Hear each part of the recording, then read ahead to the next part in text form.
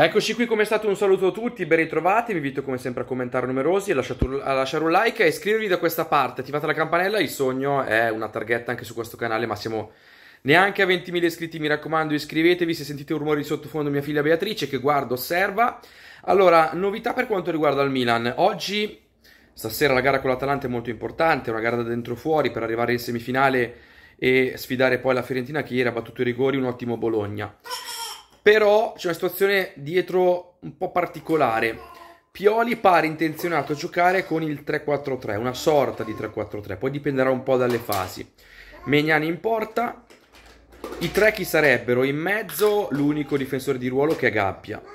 Sul centro-sinistra Teo Hernandez, sul centro-destra Calabria. Quindi non sono tre difensori puri centrali, ma è uno più due terzini.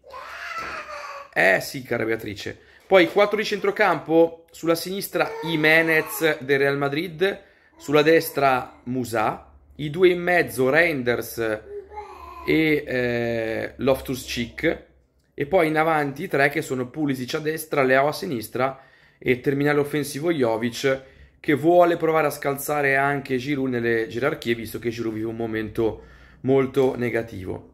Una sorta di 3-4-3 che poi puoi diventare una difesa 4 con Jimenez che magari che scala, anche se Jimenez non è un grandissimo difensore, ma è soprattutto un giocatore bravo ad offendere.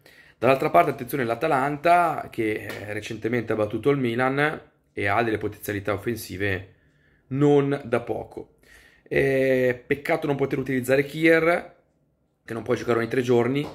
Peccato non aver preso il rinforzo già subito, perché altrimenti oggi giocherebbe forse si potrebbe stare i tifosi del Milan tutti un po' più tranquilli. Ditemi se secondo voi è la formazione migliore, perché non Simic, aggiungo, scrivetelo qui sotto nei commenti, lasciate un bel like, iscrivetevi da questa parte, attivate la campanella e grazie.